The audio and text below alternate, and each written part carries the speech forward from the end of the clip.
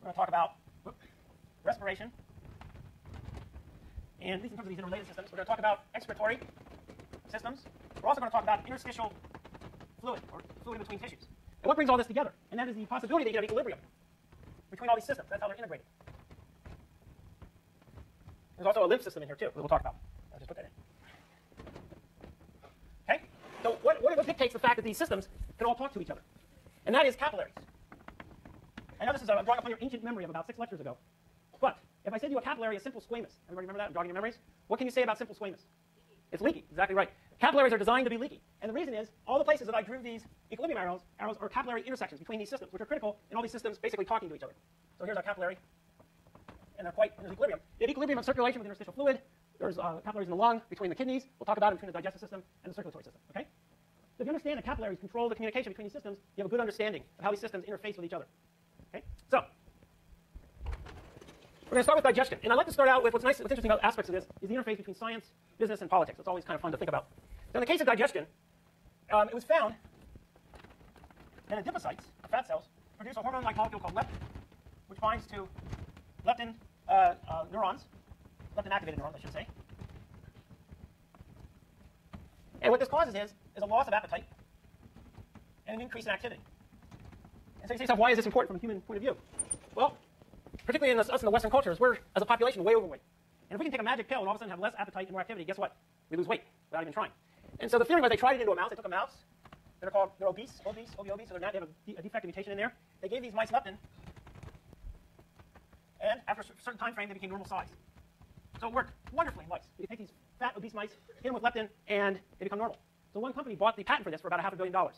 They tried it in humans, and guess what? It didn't work very well. The reason being is the appetite censoring and activity systems are much more complicated than simply one class of neurons that is activated by leptin. They found out it's a little more complicated. They found out a lot about science, but because of the desire in our population to take overeating, overweight, underexercised people and turn them into normal-looking, not normal-looking, but slimmer, uh, you know, uh, more healthy-looking people, um, they found out it won't work. What works in mice, in this case, do not necessarily work in humans. So the point is there's a lot of attention being played to issues of digestion and uh, nutrient uptake and so forth because of these kinds of reasons, and this is an outgrowth of that. Okay? So why are we hungry? Why do we eat? We got to get chemical energy, got to get carbon backbones, nitrogen, essential vitamins, amino acids, minerals, et cetera, et cetera. And when you process the food, it's actually a multi-step process. So when you process food, you have ingestion, which we're not going to talk too much about. You have digestion. And another way of saying digestion is hydrolysis of larger molecules into smaller molecules. And another way of saying that is putting water across a covalent bond. And we'll talk a little bit about that. And then there's absorption, which we'll talk a little bit about. And that's bringing in nutrients, actually nutrients and water. You bring it in. And something we won't talk much about is elimination. Okay? So these are the four main areas. Just a piece of chalk. So the generic digestive system is called the, an alimentary canal.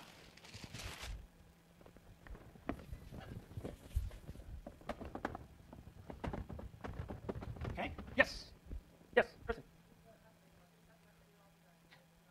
Uh, no, it's, it, it, uh, it's a more higher level. It's related to glucose, glucagon. It's a higher level uh, regulation. You still need glucose. Okay, you still need to use that. But this changes your how much appetite you might have. So if you don't have much appetite, you still have your glucose regulation going on. It depends on how much you eat. Will depend on how much you take in. Okay? Yes, yes, but that, that's not necessarily related to your glucose uptake regulatory mechanism. That's a higher level ordered brain function basically that's going on. It definitely activates neurons is what this does. Okay? All right. So your, your, your generic alimentary canal is basically food comes in one compartment. You have hydrolysis, perhaps, and it goes to a sphincter, which is a ring-like valve, and we have three of those. And then it goes into another compartment, maybe for hydrolysis and some absorption.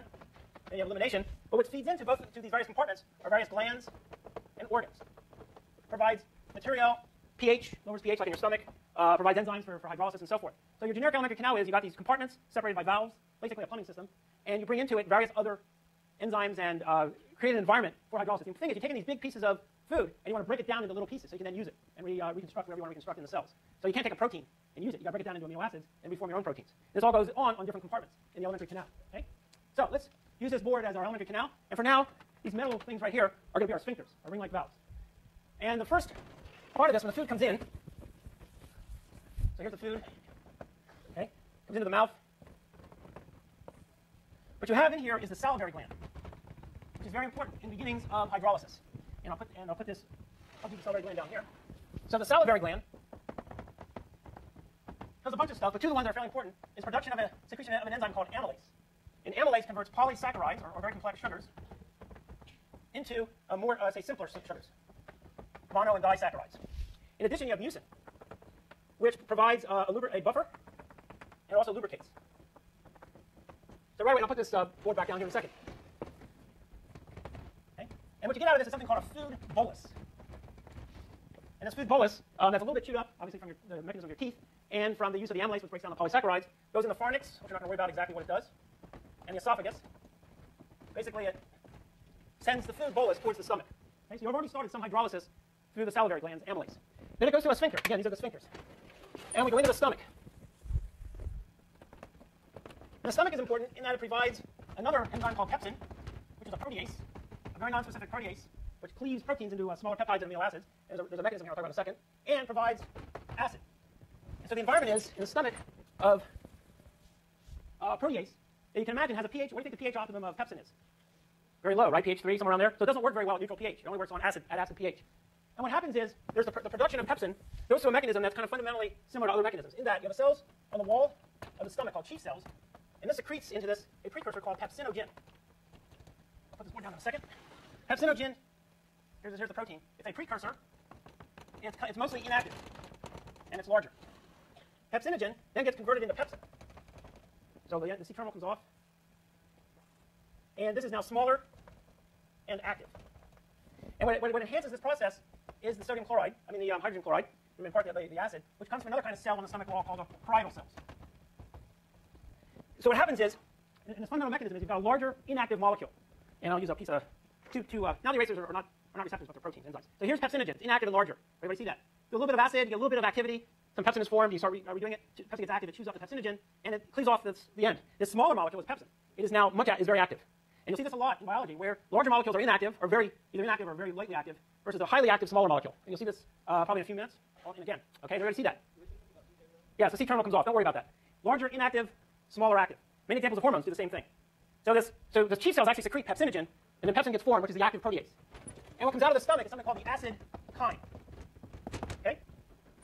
Then goes through another sphincter on the other side of the stomach. Because of the acid in the stomach, you have sphincters on both ends to keep the acid in there, to keep it um, enclosed in the stomach itself.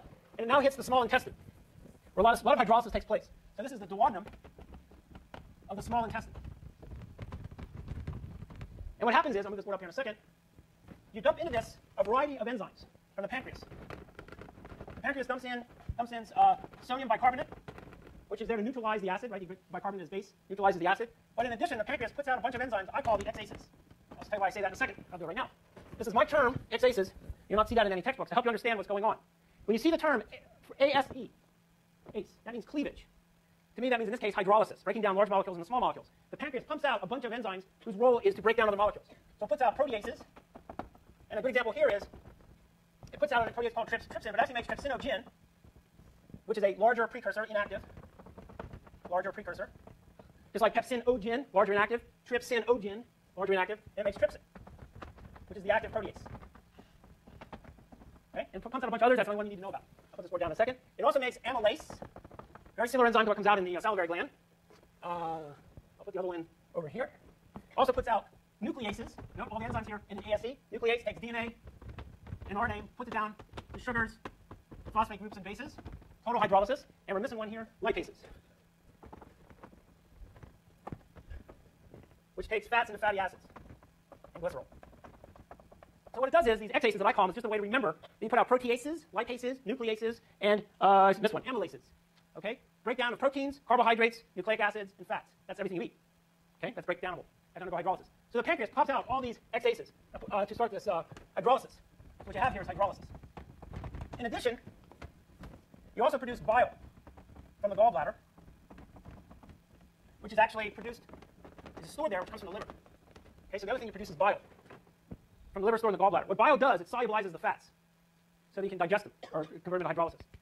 Now, say you're in, uh, you've got your doctor, you guys going on to medicine, and you see a patient that's had their gallbladder removed. If you remove your gallbladder, what can't you secrete into the alimentary canal? Bile, right? So what would be your recommendation dietarily? Yeah, low-fat diet. So patients that have their gallbladders removed um, have to undergo a low-fat, really low-fat diet because they cannot handle the fats. The bile helps solubilize it, therefore helps you um, digest it. So if you can't digest it, it comes up to work, so to speak. And it's good to have a low-fat diet. It's probably good to have a somewhat low-fat diet anyway once you, once you become, uh, you know, your age or older. Yes? Yes, it can also make it, but fat soluble vitamins was the question, but you take so little of them, it doesn't matter. We're talking about eating you know, a nice, you know, a greasy hamburger, for example, things like that. Probably should cut that out if you have a gallbladder removed. You can't handle it from a, from a hydrolysis point of view. So let's, let's think about it up to this point. You eat. Your salivary gland pumps out amylase. You start the hydrolysis process. You then goes into the stomach. The combination of the acid and pepsin starts breaking down proteins. Uh, the acid causes major conformational changes. You then, and there's a mechanism where you have pepsinogen forming the pepsin. You go from an inactive precursor to an active molecule. Goes to another sphincter. You go into the duodenum, and you pump out the exases to really break down the rest of the stuff. And we'll get to the rest of that in a second. Okay, listen. Yes, they have really fatty stool. Exactly what goes on. And, huh? You don't. You, you have them eat less fat. That's the point. That, that you can't solubilize it, therefore you can't hydrolyze it. Therefore, it's not as good for you. You can't deal with it physiologically. So I'm just saying is you'll see where the diet plays a role in how you the system, um, how you can use these enzymes. Okay. All right. Other questions? Yes, protein hydrolysis. Trypsin is a very promiscuous protease. Likes everything. Okay, and it takes, out, uh, generally speaking, takes uh, proteins down to amino acids and peptides. And we will pick up on Monday after you guys eat your wonderful meals over the weekend. We will pick up on the uh, rest of the uh, little bit of the remaining of the digestive system.